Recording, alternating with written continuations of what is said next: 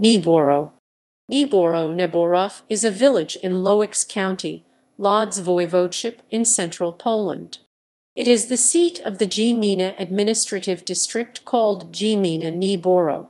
It lies approximately 14 kilometers 9 mi east of Łowicz and 60 km 37 mi northeast of the regional capital Lodz. The village has a population of 900 and is famous for the Arkadia Park situated nearby and the Nieborów Palace and Park. The palace is a former home of the Radziwill family. Literature Krzysztof Jabłoński photographs and W. Lodzimirs Pukowski text PL slash N. Nieborów. Pałac Radziwiłłów The Radziwill Palace. Wydawnictwo Voyager. Warsaw 1992.